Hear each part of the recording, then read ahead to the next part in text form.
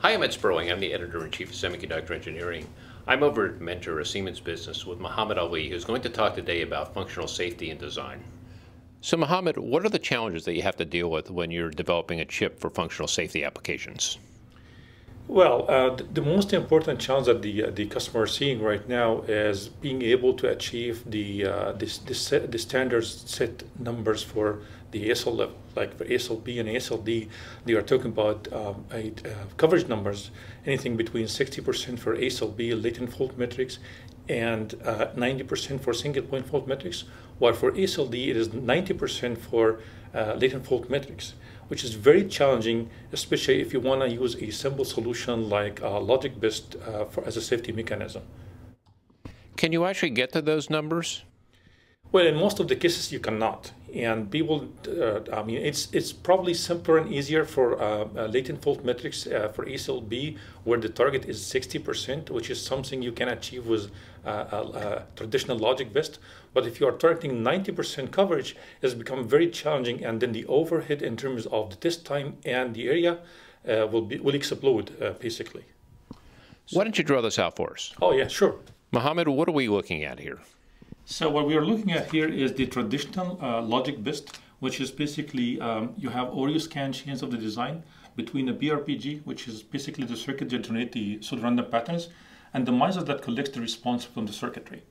And for simplicity here, I'm looking at a AND gate as part of the combinational logic in the design. I want to capture the response of the AND gates. So we have shift cycles, and the end of the shift cycles, we capture the response. So um, what I'm looking at here is, let's say that we started with shifting values, anything with zeros and ones, and we end up with a one. Uh, and this one, we will start with one and end up with a, another one. So at the end of the capture, we're actually having a, uh, a one on both sides. So we are testing actually for a stuck at zero fault. But we could also be testing for a stuck at one if we consider this one, which is uh, zero one here, which means we're testing for a stuck at one. The problem is we cannot capture this response with the traditional um, logic-BIST uh, circuitry. And here's where the new technology come into play that I'm, I'm talking about. Logic BIST takes up a good portion of the chip too, right? So if you put in too much BIST, there's only so much room for anything else. That is that is completely correct. And the uh, another benefit of this technology is actually reduces the area overhead required to add all those uh, uh, test points to help you achieve the coverage. And one of the things about BIST is that you're really monitoring the chip as it goes out into the field too. So you you have internal checks that you can go you can test against, right? Yeah. So basically, what you do is whenever you have a time, and this, according to standard, called the the uh, detection uh, test or detection time interval and you go and actually convert the whole design into a test mode and run the run the test, making sure it is there is no structure uh, uh, defects in the design, and then bring it back to the mission mode so we can operate again on it. So what do you do about this? What's the answer? Okay, so we know that we are able to capture post uh, uh, the stuck at zero and stuck at one theoretically, but there are things need to be done in the circuit to be able to do that. And uh, these are um, uh, this is the typical uh, flop, scan flop that we have. One of those flops are here. And you have the inputs either coming from a, a data input or a scanning input. And if I take this circuitry right here, is going to be the AND gate, my AND gate, driving this D input, and the scanning input or scan in is, is coming from a, another part of the design. What I want to do right now is being able to capture the response of, of this AND gate at my scan input at the same time. Um, and to be able to do that, I will need to add a XOR gate that takes the uh, the, the output of the, uh, the uh, AND gate and the input from the, uh, the other scan uh, flop. This way, I'll be able to capture the response of this AND gate during both shift and any of the capture, uh, sorry, during both capture and any of the shift cycles I have here. So rather than just adding more BIST into the chip, what you're doing is making it more efficient, right? Yes. This way, I, I mean, um, um, we did the, the, study and we already have uh, results saying that this way um, we can uh, dramatically drop the number of test points, or number of BIST circuitry needed by at least uh, 2x uh, or 3x depending on the design. So you are reducing the area overhead to achieve the same coverage. At the same time, you are reducing the test time by doing that because you are actually capturing, you are actually collecting response during the shift and the capture.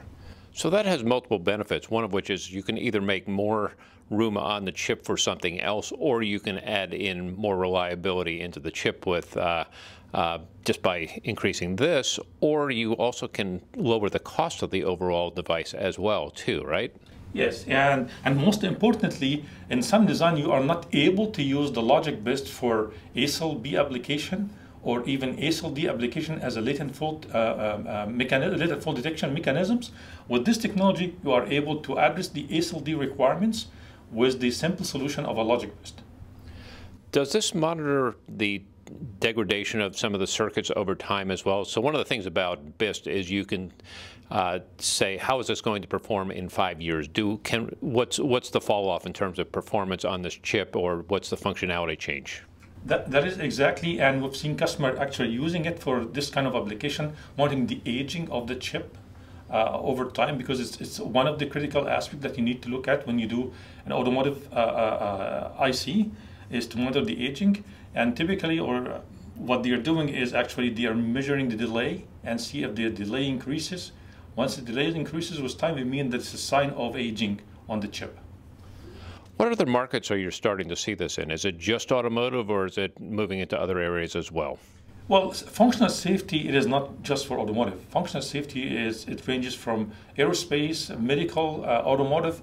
But the reason why we are seeing it in automotive is basically because all of the, uh, what we're seeing is the, all of the uh, semiconductors or IP provider are moving into this domain and this era this is why actually we are, we are saying that it's is going to target them. But it, it is usable for, uh, like I said, aerospace, uh, medical, anything that has. Industrial probably is more stringent than automotive yet. I mean, it's not, it's not that common, but it's, it's, it, it is suitable for all those applications.